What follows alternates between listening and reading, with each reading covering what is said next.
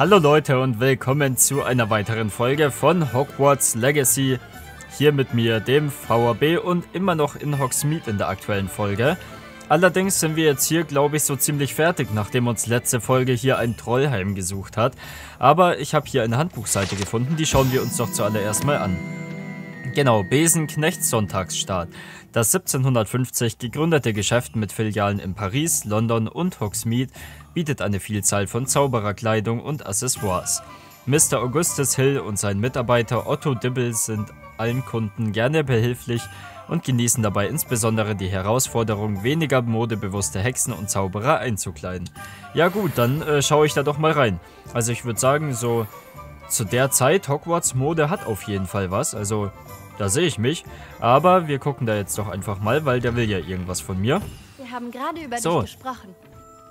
Okay. Wird wieder über mich gelästert. Interagieren. So, äh, äh, nee, so nicht. Äh, so.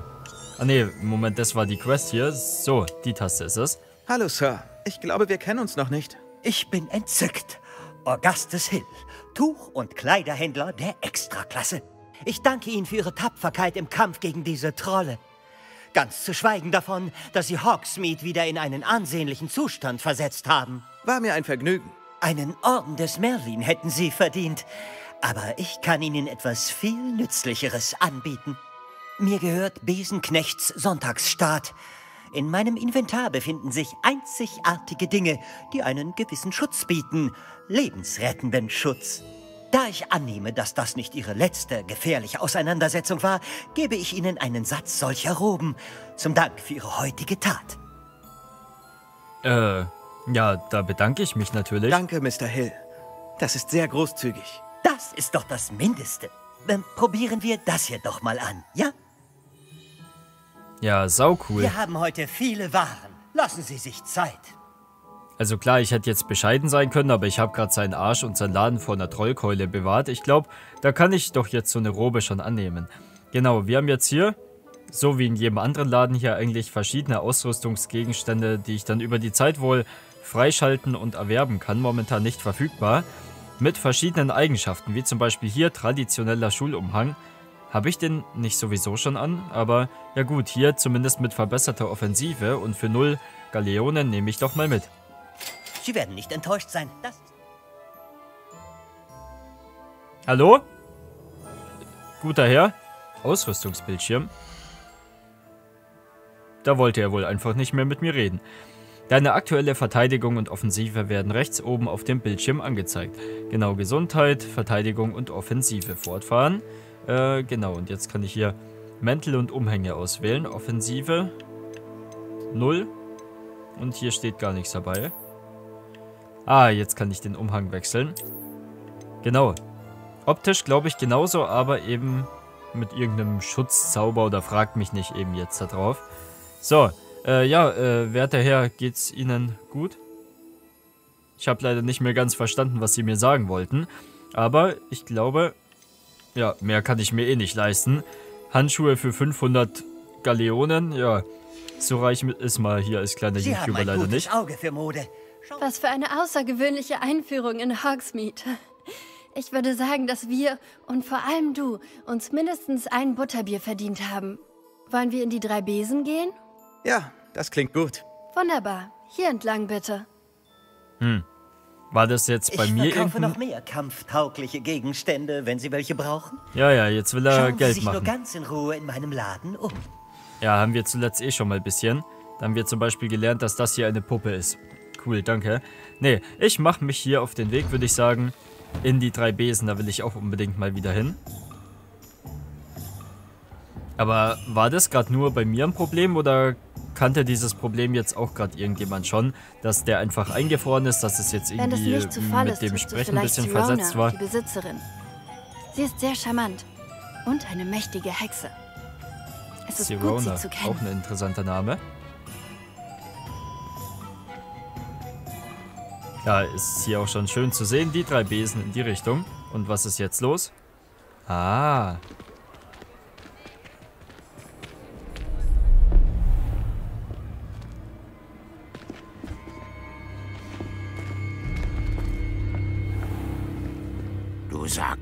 Kommst in Hogsmeade an das Kind ran. Dass du lediglich eine Ablenkung brauchst. Und die habe ich dir gegeben. Ich habe gerade gesehen, wie deine Ablenkung beseitigt wurde. Wer ist dieses Kind? Was verschweigst du mir? Du musst nur wissen, wenn du nicht an das Kind rankommst, dann bist du für mich wertlos. Weg hier.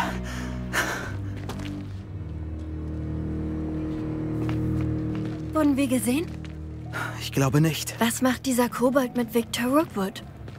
Ranrock arbeitet mit Rookwood? Rookwood. Das ist der Kobold vom Tagespropheten. Ich wusste, dass ich ihn kenne. Schnell, lass uns in die drei Besen reingehen.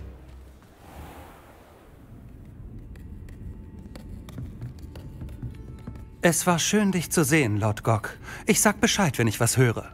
Danke, Sirona. Dann bis bald.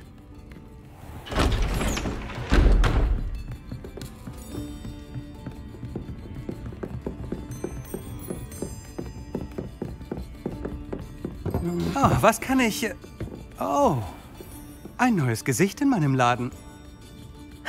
Ist mein erstes Mal hier. Willkommen. Ich gebe euch einen aus. Dieser Angriff. Ich schaue später nach den Ladenbesitzern und Bewohnern. Immerhin sind sie wohl auf. Ich hatte Hilfe. Hat ganz allein ein Troll besiegt. Wirklich? Gut gemacht. Danke dafür. Aber gern. Im Ernst. Trolle in Hogsmeade? Das hatten wir ja noch nie. Merkwürdig. Die einzigen Unholde, die uns plagen, sind sonst... Ah, Oh oh. Wie passend. War das Lodgok gerade eben? Hm. Die Kundschaft war auch schon mal besser, Sirona. Keine Sorge, Viktor. Wenn Sie erst weg sind, wird das meiner Kundschaft nur zuträglich sein. Würde ich an Ihrer Stelle lassen, Theophilus. Na, na. Das Theater können wir uns doch sparen. Ich bin nur aus einem Grund hier. Mein Gast genießt ein wohlverdientes Butterbier. Es dauert nicht lang. War ich nicht deutlich genug? Oha. Mein Gast ist gerade beschäftigt. Man sollte meinen, dass ihr genug Blut vergießen hattet. Komm, Theophilus. Mit den drei Besen geht es bergab. Ist unsere Galeone nicht wert? Du kannst nicht ewig Butterbier trinken. Ach, wenn du glauben könntest, was ich alles trinken kann. Äh, was? Äh, ja. Sie haben sich einen mächtigen Gegner gemacht. Vorsicht! Rookwood und Harlow sind schlimmer als alle Trolle dieser Welt. Trolle, Ranrock und Rookwood? Was verheimlichst du mir? Ich werde dir alles erzählen. Aber jetzt ist nicht der richtige Zeitpunkt dafür. Jetzt wäre wohl ein guter Zeitpunkt, um zum Schloss zurückzukehren. Ey, ich will, ich will noch ein Butterbier trinken. Ja, gut, also ich dachte schon, es ist jetzt rum mit Hogsmeade-Action hier. Troll und verhauen und Troll töten und... Aber äh, es bleibt ja weiter spannend. Ja gut, dann schauen wir uns jetzt erstmal was über die drei Besen an. Die drei Besen. Das Wirtshaus Drei Besen, das derzeit von Zerona Ryan geführt wird und angeblich so alt ist wie Hogsmeade selbst, ist seit langem ein Treffpunkt für Dorfbewohner und Hogwarts-Schüler, die ein Butterbier oder ein Feuerwhisky genießen möchten. Ja, da sehe ich mich doch. So.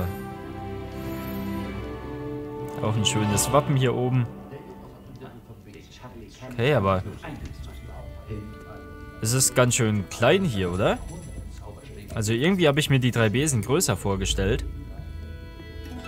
Ja gut, da oben geht es noch ein bisschen hoch. Kann ich da auch ein bisschen rumlaufen? Erkundschaften eigentlich ja schon. Ah, genau. Hier kann man auch noch Platz nehmen. Ja, ist aber schon ganz schön und gemütlich.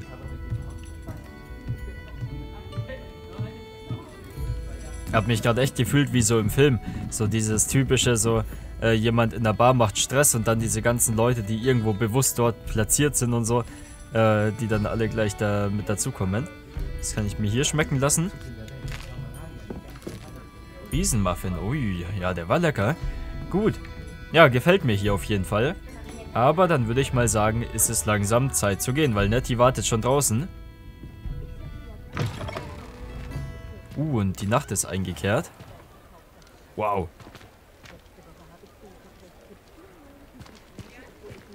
Auch eine schöne Atmosphäre. Und es regnet ein bisschen. So. Ich bin heilfroh, dass Sirona da war. Und, dass solche Schurken wie Rookwood und Harlow sie nicht einschüchtern. Ich möchte verstehen, was hier vor sich geht und hoffe, du erzählst es mir. Aber erst einmal sollten wir zum Schloss zurück. Professor Weasley erfährt sicher bald von dem Trollangriff, wenn sie es nicht schon weiß. Ich will nicht, dass sie sich sorgt. Was ist denn das jetzt schon wieder? Äh, ja. Aber dass das Spiel im Hintergrund anhält, wenn irgendwas so zum Öffnen ist, das ist mir jetzt neu. Aber ja gut. Hm. Wähle die Taste für die Karte von Hogwarts aus, um sie anzuzeigen. Dann einmal... Welche Taste ist das? Achso, ich muss das hier oben auswählen. Ich dachte, ich kann jetzt hier einfach mit den äußeren Tasten rüber. Gut. Schnellreise zum Gemeinschaftsraum. Will ich das denn machen? Also hier, das Ding hüpft auf jeden Fall die große Treppe. Gemeinschaftsraum von Ravenclaw. Reisen. So. Ach, das hier äh, ging ja schnell. So, dann haben wir uns den Rücksch...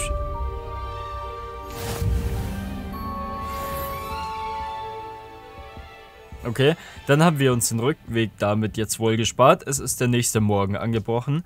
Und ich weiß auch erstmal nicht, was ich zu tun habe. Oh, ist das jetzt meine Eule hier? Hallo? Oh, du hast Eulenpost erhalten. Das ist ja cool. So, von... Den kennen wir doch. Professor Fick, hallo. Kommen Sie zu mir. Ich habe etwas in dem Medaillon, das wir in Gringotts gefunden haben, entdeckt. Gut, dann weiß ich damit jetzt auch, wie es weitergeht. Sehr spannend. Dann ist es wirklich meine Eule, oder? Das ist ja cool. Was? Ich kann auch so Nachricht lesen? Nee. Ja, ist ja nur seine Nachricht da. Wieso wird das weiter angezeigt? Falls ich so vergesslich bin. Hm. Gut, dann machen wir uns da mal auf.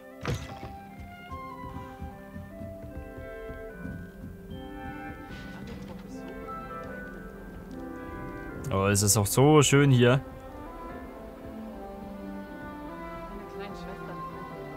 Hm, da ist die graue Dame.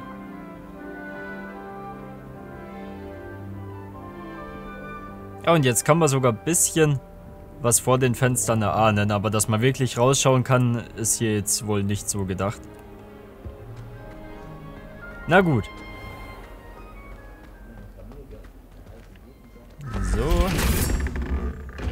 Okay. Dann schaue ich mal, ob ich den netten Herrn finde.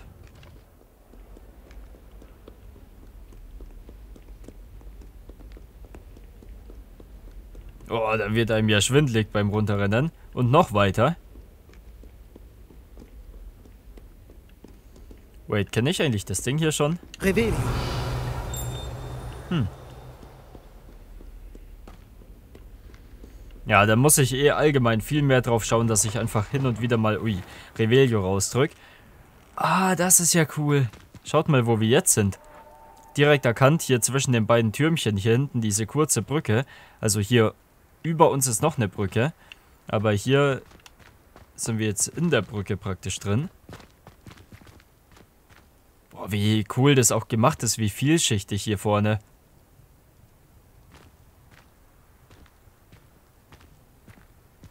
Mega schön. So. Oh, und weiter Wendeltreppe laufen. Auch hin und wieder mal Revelio. Hier ein paar Hauswappen, schaut auch cool aus. Oder? Wobei, Hauswappen. Hier außen gar nicht mal. Keine Ahnung, was das denn äh, für Wappen sein sollen. Hm. Na gut.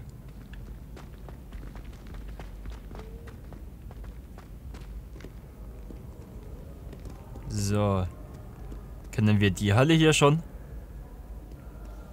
Also vom Stil her möglich. wenn hier dann die Klassenzimmer sind, so Verteidigung gegen die dunklen Künste und Zauberkunst, wenn wir hier durchgekommen sind, dann ist es das womöglich, aber in Hogwarts sich einmal auszukennen, ich glaube, das braucht noch einen Moment.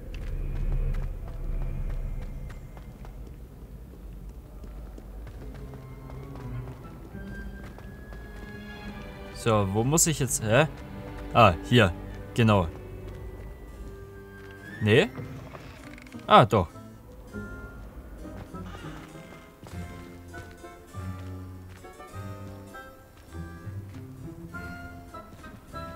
Jedes Mal aufs Neue so viel zum Sehen und zum Entdecken. Das liebe ich halt hier absolut dran. Weil wenn man sich so die alten Harry Potter Spiele im Vergleich nimmt. Ah genau, hier ist die Brücke, die ich eben meinte. Da einmal geht es oben lang und wir sind hier gerade innen drin durchgegangen. Und drunter gibt es hier in der Version anscheinend auch noch eine. Sehr cool. Ja, aber wenn man sich so die alten Harry Potter Spiele, so fünfter oder sechster teilnimmt, da konnte man auch durch Hogwarts laufen, da konnte man auch Hogwarts erkunden. Aber es war halt niemals so wie hier. War halt einmal ein ganz anderes Hogwarts, klar, an der Stelle. Da ist es jetzt auf jeden Fall cool, dass hier einfach eine andere Umsetzung gewählt wurde. Also weiß ich doch tatsächlich auch immer mehr zum Schätzen, weil hier, ich muss weiterhin sagen, ist halt einfach objektiv auch so zu bewerten. Das sieht nicht nach Hogwarts aus, aber es ist halt alles so schön umgesetzt und es gibt dann eine so schöne Grafik hier in dem Spiel. Hier diese ganzen Wandteppiche, dass man hier so viel zum Sehen hat. Revelio. Apropos, nee. Irgendwie habe ich das Gefühl, ich setze Revelio immer an den falschen Stellen und Orten ein. Immer da, wo es nichts gibt, so ungefähr. So, äh, muss ich? Ah, genau, hier war ja sein Raum, ne? Jetzt muss ich zu ihm ins Büro. Da habe ich doch letztens die Notiz hier auf dem Tisch gefunden gehabt. Ja, genau. Hat er immer noch nicht weggeräumt.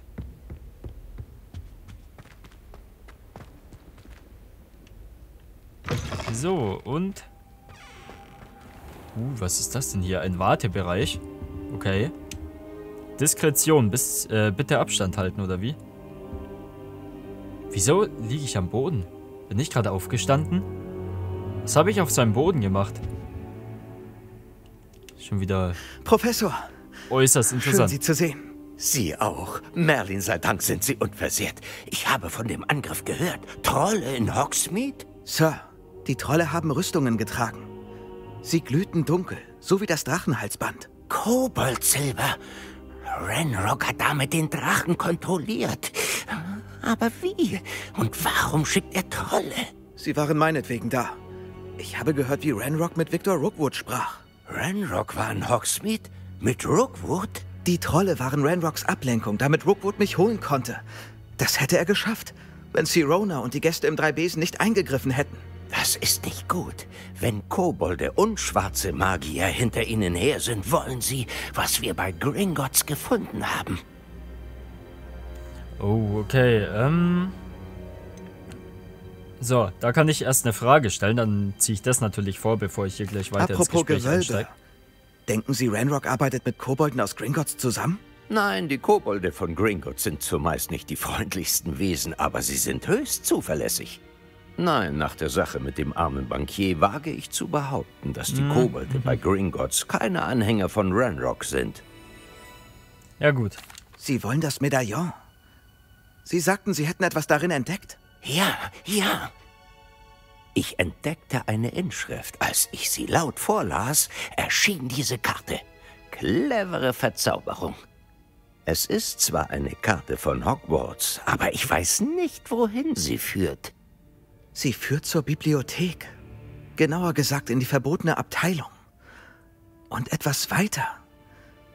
Ich sehe Spuren von Magie auf der Karte. Ich dachte mir schon, dass Sie etwas sehen. Brechen wir auf? Ich weiß Ihren Enthusiasmus zu schätzen und ich bin ebenfalls gespannt, was wir dort finden. Aber nicht mehr in der wenn heutigen unsere Folge. Erfahrung in Gringotts, ganz zu schweigen von Miriams Schicksal, mich etwas gelehrt hat, dann, dass diese ganze Sache höchst gefährlich ist. Ich möchte, dass Sie mit Professor Hackett arbeiten, bevor wir fortfahren. Aber wie gefährlich kann es in der Bibliothek sein? Wir suchen doch nur ein Buch. Vielleicht geht es wirklich nur um ein Buch, aber wir sollten auf alles gefasst sein. Kommen Sie zu mir, wenn Sie Ihre Verteidigungszauber verbessert haben. Ich werde Ja. Professor Hackett sagen, dass Sie kommen. Sehr gut. Ja, nur nach Hogsmeade gehen, um Einkäufe zu tätigen. Nur ein Butterbier trinken hat bisher alles nicht so gut funktioniert. Also ja, ich glaube, es ist tatsächlich ganz gut, dass wir hier erstmal weitere Stunden bei Professor Hackett nehmen. Aber das dann, wie gesagt, in der nächsten Folge. Ich muss mir erstmal meine schwitzigen Finger waschen nach der Aufregung dieser Folge und würde mich freuen, wenn ihr dann beim nächsten Mal wieder mit dabei seid in der zehnten Folge von Hogwarts Legacy hier mit mir. Aber bis dahin wünsche ich euch alles Gute und haut rein.